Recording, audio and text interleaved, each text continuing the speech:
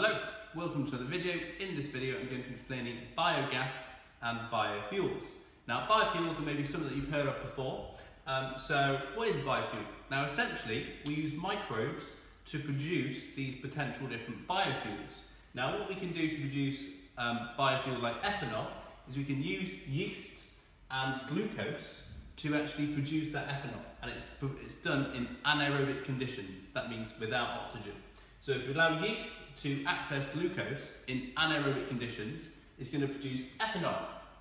Ethanol is a type of alcohol, but it can be used as a biofuel. Now you may have seen some buses around in town uh, on the side saying I'm a green bus and with some signs saying it has ethanol as the fuel.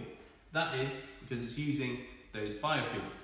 Now biogas, biogas is produced in biogas generators and what they often give you in exam is a diagram of it and they give you some information about different generators and um, they ask you to evaluate that information.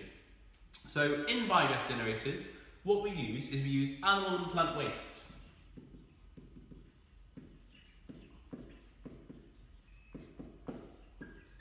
So animal and plant waste materials and then it's provided to microbes. But again, it's in anaerobic conditions, so without oxygen no oxygen. And what those microbes produce is they produce methane.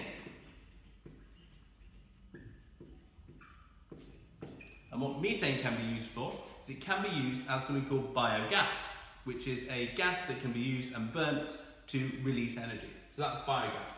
Um, and that is one of the positives of using microbes to produce gas. Okay? Um, this could be useful particularly to some maybe rural communities or country, countries uh, like third world countries where they need that fuel and they have limited supply of normal fuel so they can use these um, produced generators to allow them to produce their fuel. Okay. Um, so you may have to consider some of the environmental conditions when looking at biogas generators. So for example, in cold countries, it's not going to produce them very effectively because if it's too cold, the microbes won't work properly and won't produce the methane. On the other, other side of that, if the country is too hot, it could lead to the enzymes in the microbes not working and not being able to produce methane. So that's just the other side of it.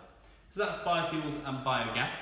Uh, thank you very much for watching. Please like, share and subscribe. Follow me on Twitter at Rushcliffe Bio. Thank you.